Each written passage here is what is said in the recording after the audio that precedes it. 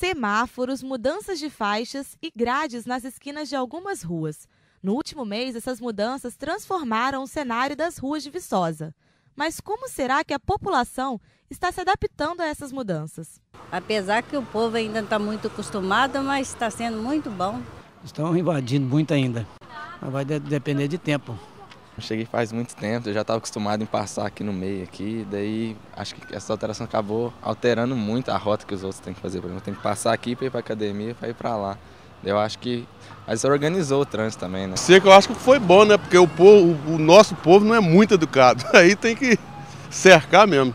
Elias é taxista há mais de 30 anos. Há 10 ele veio de São Paulo para trabalhar aqui e confessa que a adaptação ao trânsito da cidade na época foi difícil. Chegava às 6 horas da tarde, eu estava cansado de tanto olhar para um lado para o outro, aquela tensão, a lei do mais esperto, tinha que avançar para chegar primeiro, né? E aquilo me matava. Agora, agora fica tranquilo, a gente chega no semáforo, para, dá aquela relaxada, depois segue.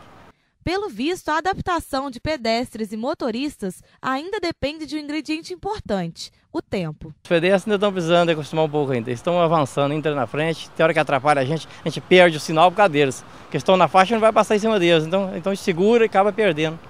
Ah, quer sincronizar todo mundo direitinho? Quem quer ir para um lado, para o outro, pedestre? Nossa, 100%. Beleza. Nas ruas é fácil flagrar momentos como esse.